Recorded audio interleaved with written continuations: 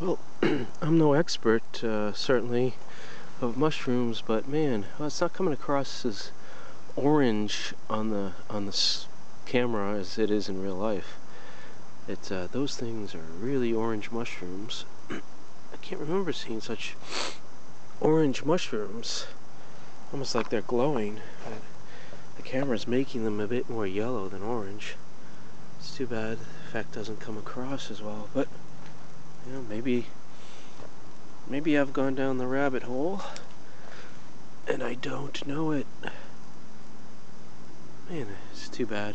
Well, there you go. Actually, when I get the green leaves in with the shot, it makes more of a correction towards what the color is really more like. These weird cameras. Especially there, that's better. you get a better, you know, uh, uh,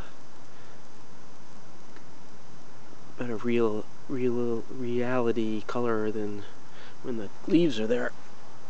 There's more up there. Boom, boom, boom. Look at those ones. Those ones look like they're glowing brighter than all the others. oh boy. Nope, I'm not gonna take one. Don't worry.